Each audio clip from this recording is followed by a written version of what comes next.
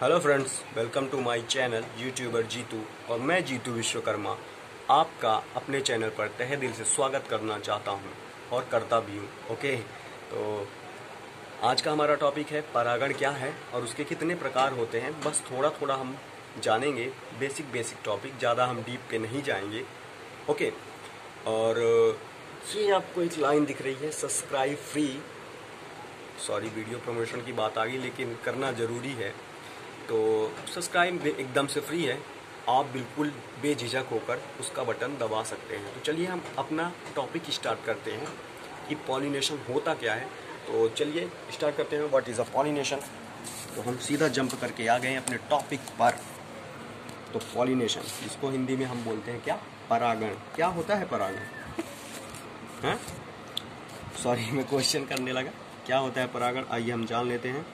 What is a pollination the process of the transfer of pollen grains from the anther to the stigma of the same flower और another flower of the same species is called pollination कहने का मतलब जब एक पुष्प के परागकण उसी पुष्प या उसी जाति के किसी दूसरे पुष्प तक ट्रांसफ़र हो जाते हैं तो उसे हम पॉलिनेशन या परागण कहते हैं। डायग्राम के माध्यम से समझिए, आपको बहुत ज़्यादा समझ में आएगा और बहुत अच्छा समझ में आएगा। ये कोई फूल है? गुड़हल का फूल है। मैंने यहाँ पे गुड़हल का फूल लिया है, डायग्राम में। तो यहाँ पे आपको एक डंठल दिख रहा है लंबा लंबा, इसको हम बोलते हैं स्टिग्मा। ये बताना ज़रूरी है। कुछ लोगों को शायद नहीं पता होगा। अच्छी बात है, जो चीज़ें नहीं पता होती, उन्हें जानना ज़रूरी होता। तो ये जो सबसे लंबा होता है, इसको हम वर्तिकाग्र या स्टिग्मा बोल देते हैं। लेकिन जो ये छोटे छोटे रहते हैं स्ट्रक्चर इनको हम एंथर बोलते हैं ओके और एंथर के ऊपर ही हमारा पॉलन ग्रेन्स रहते हैं, ठीक है ना? यहाँ पे पॉलन ग्रेन स्टोर रहते हैं, ये। ठीक? समझ में आ गई बात? तो ये हमने फूल ले लिया। आप डिफिनीशन को समझते हैं कि डिफिनीशन आखिर कहना क्या चाहती है पॉलिनेशन की? पॉलिनेशन की डिफिनीशन यही कहना चाहती है, जब किसी एक पुष्प के पराग कोश से, जब पराग कोश आपको कहना है तो कहिए, नहीं तो सीधा हम कहेंगे। जब एक पुष्प के पराग कणों का ट्रांसफ़र उसी पुष्प के वर्तिकाग या उसी जाति के, उसी जाति के दूसरे पुष्प तक, उसी जाति के दूसरे पुष्प के वर्तिकाग्र तक पराग कणों का ट्रांसफ़र होता है तो इसे हम परागण कहते हैं। सिंपल समझ में आ गया होगा मेरे हिसाब से। जिनको नहीं समझ में आया, मैं एक बार और बता देता हूँ। ये आपका पराग कोष हो गया तो जब एक पुष्प के पराग जब किसी एक पुष्प के पराग कोष से, ठीक है ना, पराग कणों का ट्रांसफ़र उसी पुष्प के वर्तिकाग्र तक या उसी जाति के किसी दूसरे पुष्प के वर्तिकाग्र तक पराग कणों का ट्रांसफ़र होता है तो उसे हम पॉलिनेशन बोल देते हैं। ज़रूर बोलेंगे। ये परिभाषा एकदम फिट बैठेगी। इस परिभाषा को कोई गलत नहीं बोल सकता और बढ़िया छोटी सी है और आपको समझ में भी आ गई होगी। तो ये तो हो गई पॉलिनेशन की बात। अब चलिए हम बात करते हैं कि पॉलिनेशन के प्रकार कितने होते हैं। तो पॉलिनेशन दो प्रकार का होता है मेनली कौन कौन सा? आइए उसके बारे में भी हम बात करते हैं। एक होता है सेल्फ पॉलिनेशन ओके और दूसरा होता है क्रॉस पॉलिनेशन स्वपरागण पर परागण सेल्फ मतलब स्व क्रॉस मतलब क्रॉस मतलब ये होता है, लेकिन मेनली क्रॉस को इस, ऐसे से ऐसे सिंबल से डिसाइड करते हैं, लेकिन यहाँ पे हम पर परागण बोल सकते हैं, पर यानी दूसरा, ठीक है ना? तो नाम से ही समझ में आ रहा है पर यानी दूसरे तक पहुँचना है हमको, और स्व मतलब स्वयं में ही निर्धारित हो जाना है हमको। तो अब हम आपको बताने वाले हैं कि पर परागण और स्व परागण किसे कहते हैं।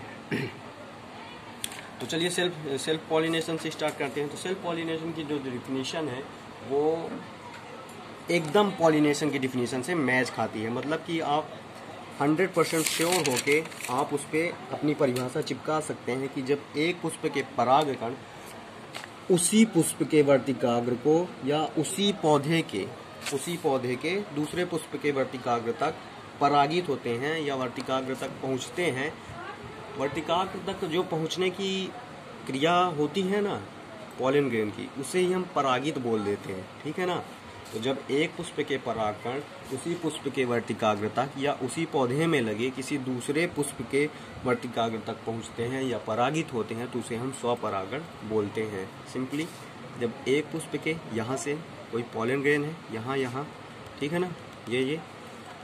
जब एक पुष्प के पराग कणों का ये पॉलन ग्रेन्स यहाँ से जाएँगे, हवा, जल और पक्षी और आपके कीट पतंग के द्वारा ये ट्रांसफ़र हो जाता है। ठीक है ना? तो पॉलन जब एक पुष्प के पराग कणों का पॉलन ग्रेन का ट्रांसफ़र उसी पुष्प के वर्तिकाग्र, उसी पुष्प के वर्तिकाग्र या उसी जाति के किसी दूसरे पुष्प के वर्तिकाग्र तक पहुँचते हैं या स्थानांतरित होते हैं या परागित होते हैं तो उसे हम स्वपरागण बोलते हैं। ओके? अब आपको ये बात समझ में आ गई होगी अब हम बात करते हैं अपने दूसरा प्रकार जो हमारा है पर परागण पर परागण से क्या समझ में आ रहा है? पर यानी दूसरा, यानी दूसरे तक हमको पहुँचना है। तो पर परागण में क्या होगा? जब एक पुष्प के, यह हमारा पुष्प हो गया, जब एक पुष्प के पराग कणों का ट्रांसफ़र उसी जाति के, उसी जाति के किसी दूसरे किसी दूसरे पौधे तक एक दूसरे सॉरी दूसरे पुष्प के वर्तिकाग्र तक परागित होते हैं या स्थानांतरित होते हैं तो उसे हम पर परागण बोलते हैं। इसमें क्या होता है? इस प्रोसेस में, इस प्रोसेस में सिंपली ये होता है कि मान लीजिए, हमारे पास दो गुड़हल के फूल हैं, नंबर एक, नंबर दो, ठीक है ना? तो पर परागण में हमारा सिंपल फॉर्मूला यही बैठेगा कि ये जो इस पुष्प का पराग कण है पॉलन ग्रेन है तो जब तक वो दूसरे पुष्प के मतलब दूसरे पौधे के पुष्प के वर्तिकाग्र तक पहुंचेगा, तभी हम उसको पर परागण बोलेंगे, अन्यथा नहीं बोलेंगे। लेकिन एक कंडीशन इसमें बैठती है कि जो फ्लावर के पौधे हैं, वो सेम होने चाहिए। मतलब अगर गुड़हल का फूल है तो गुड़हल का दूसरा पौधा भी होना चाहिए। अगर गेंदे का फूल है तो दूसरा पौधा भी गेंदे का फूल होना चाहिए। दूसरा पौधा भी गेंदे का होना चाहिए। सिंपल कहने का मतलब यही है कि जब एक पुष्प के पराग कणों का ट्रांसफ़र उसी जाति के किसी दूसरे पुष्प तक परागित होता है, किसी दूसरे पुष्प के तक स्थानांतरित होता है या परागित होता है तो उसे हम परपरागण कहते हैं। ओके, समझ में आ गया आपको? बिल्कुल सही है।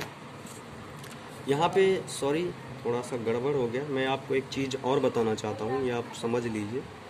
स्टिग्मा जो होता है, अपना दो टाइप का होता है। एक तो ये लंबवत खांट जैसी होती है मतलब कि बैलून टाइप का स्ट्रक्चर होता है, एक राउंड राउंड जो आपने गुड़हल के फूल में देखा। तो इसको हम कैपिटेट बोलते हैं। गुड़हर के फूल वाले को, जो इसमें ऊपर, जो इसकी टोपी राउंड राउंड होगी तो उसे हम कैपिटेट बोलते हैं। और जिसकी टोपी लाइक वैलून टाइप में होगी, उसे हम सिंपल वर्टिकाग या स्टिग्मा बोलेंगे। तो चलिए, आज का टॉपिक यहीं पे समाप्त करते हैं। थोड़ा बहुत अगर आपको समझ में आया होगा तो वीडियो प्लीज़ लाइक कर दीजिएगा। और क्या कहूँ? और मैं अपने शब्दों को कैसे बखान करूँ? चलिए थैंक यू वीडियो देखने के लिए बहुत बहुत धन्यवाद आपका।